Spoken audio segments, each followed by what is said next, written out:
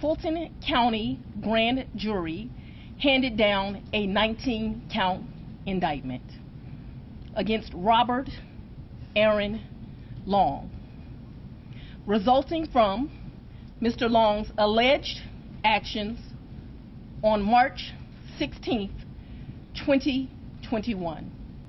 Further, the indictment charges five counts of aggravated assault, with four of the counts being for the acts committed in the murder charges, plus one count for the defendant's alleged acts against Isis Escobar, who survived.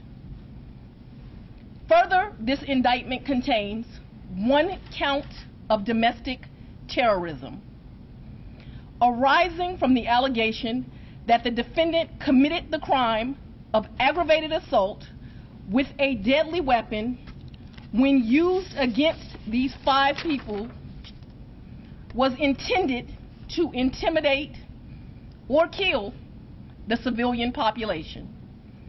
Further, the indictment count carries five counts of possession of a firearm during the commission of a felony.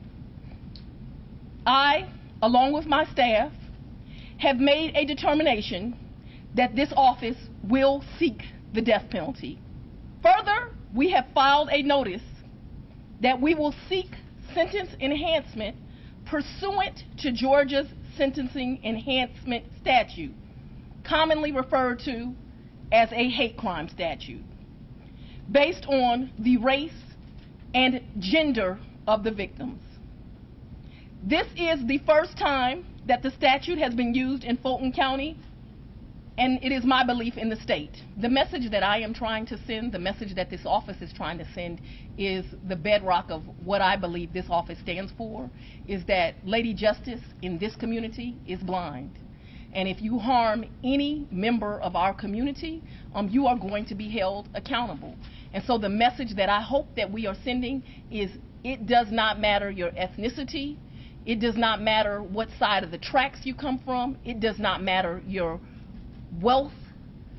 You will be treated as an individual with value.